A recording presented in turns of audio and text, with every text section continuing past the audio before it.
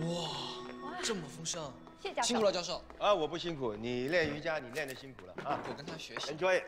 You won't be joining us? No, I've been fasting lately. I'll just have some of this.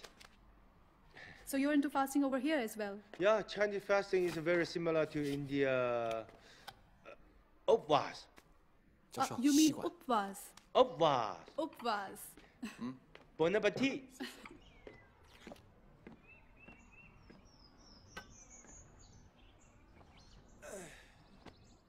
So, does he always cook like this for you?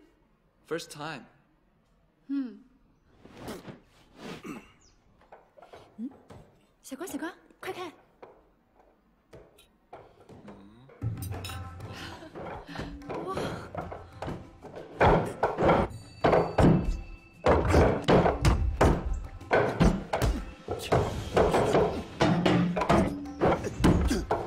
Is he always so energetic? First time.